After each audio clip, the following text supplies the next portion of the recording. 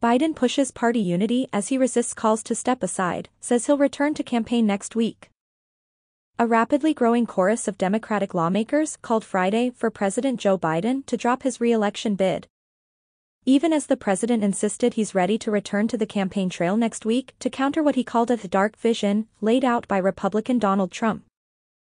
As more Democratic members of Congress urged him to drop out, bringing the total since his disastrous debate against Trump to nearly three dozen, Biden remained isolated at his beach house in Delaware after being diagnosed with COVID-19.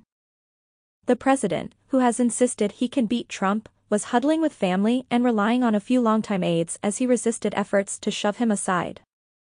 Late Friday, Ohio's Sherrod Brown, a Democrat who is in a tough race for re-election, called for Biden to step aside. Brown said in a statement that he agrees with the many Ohioans who have reached out to him.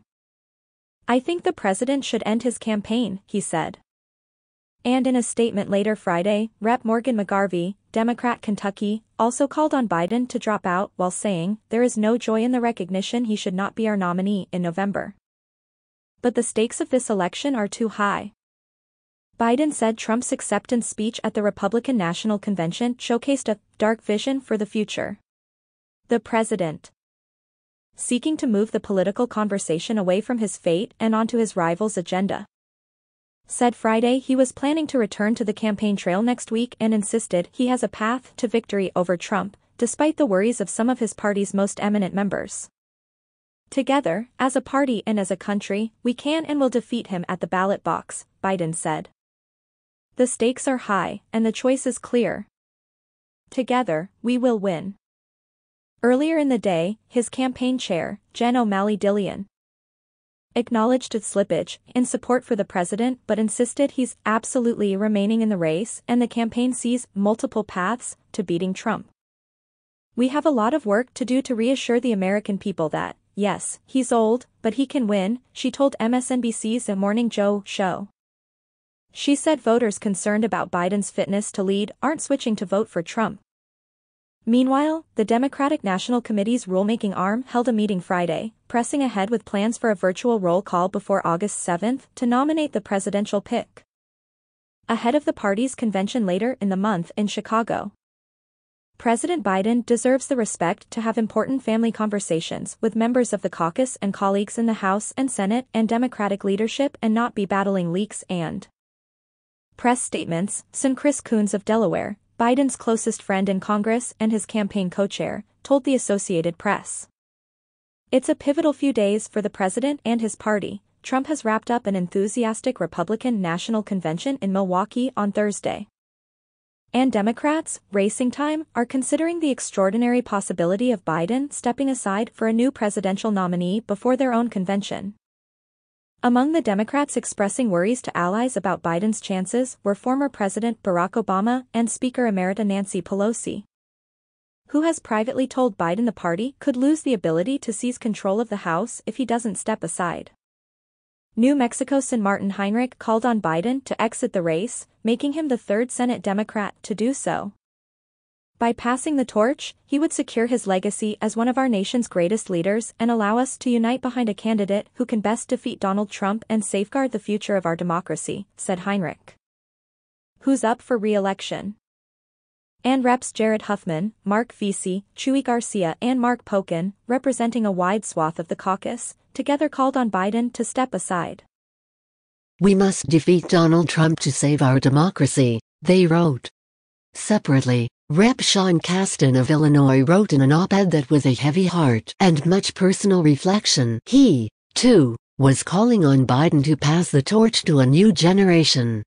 Campaign officials said Biden was even more committed to staying in the race. And senior West Wing aides have had no internal discussions or conversations with the president about dropping out. On Friday, Biden picked up a key endorsement from the political arm of the Congressional Hispanic Caucus. CHC Bold PAC said the Biden administration has shown unwavering commitment to Latinos and the stakes couldn't be higher in this election. But there is also time to reconsider.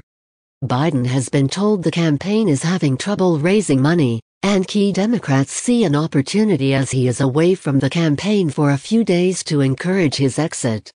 Among his cabinet, some are resigned to the likelihood of him losing in November. The reporting in this story is based in part on information from almost a dozen people who insisted on anonymity to discuss sensitive private deliberations. The Washington Post first reported on Obama's involvement. Biden, 81, tested positive for COVID-19 while traveling in Las Vegas earlier this week and experienced mild symptoms, including general malaise, from the infection, the White House said. White House Dr. Kevin O'Connor said Friday that the president still had a dry cough and hoarseness, but that his COVID symptoms had improved.